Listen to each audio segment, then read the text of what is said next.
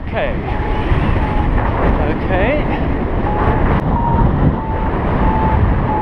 Okay, that shook me up a bit.